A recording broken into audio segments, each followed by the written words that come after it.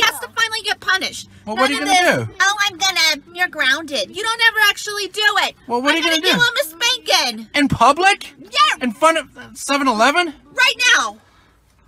Bend over. I think she's pissed, guys. Come on, get over here now. Seriously, can we just wait around. and do this at home? Bend No. over. I'm No. done. This is it. Hey. Oh my gosh, so you guys don't want to see this. So be sure to check out Leland's awesome videos. Uh, so tired of this. Wow. Serious, guys. She actually did it. Holy crap. My hand hurts. It's not funny, Leanna. You can't do this anymore. I can't. How much? I can't repair this. Leanna!